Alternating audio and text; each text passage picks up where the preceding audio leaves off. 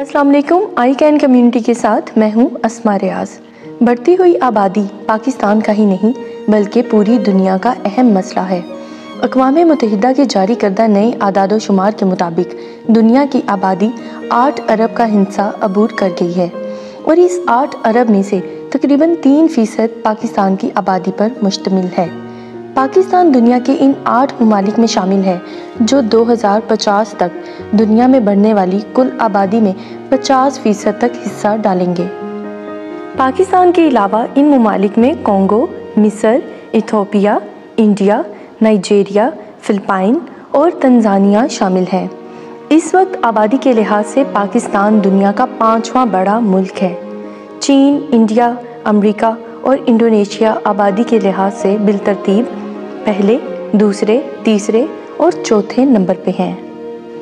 जिस शरह से पाकिस्तान की आबादी बढ़ रही है, ये पाकिस्तान के लिए ख़तरे की घंटी है। तेज़ी से बढ़ती हुई आबादी की वजह से दिन ब दिन रोज़मर्रा के मसाइल में इजाफा हो रहा है। बढ़ती हुई आबादी की वजह से गुर्बत में भी मज़ीद इजाफा होता जा रहा है। साल 2023 में पाकिस्तान की जीडीपी ग्रोथ सिफर इशारिया तेईस फ़ीसद रही, जिसे मौशी माहरीन ने इंतहाई मायूस कन करार दिया था। जीडीपी ग्राफ का गिरना महँगाई के तूफ़ान को दावत देता है, जिससे सेहत और तालीम का शोबा बर रास्त मुतासर हो रहा है। तालीम, सेहत और बेहतर मैार ज़िंदगी आपके बच्चों का हक है। इन्हें इस हक से महरूम ना करें। लिहाजा, बच्चों की तादाद नहीं, मैार ज़िंदगी बढ़ाएँ, ताकि सेहतमंद और पढ़े लिखे माशरे की तामीर नो में कोई रुकावट हायल ना हो।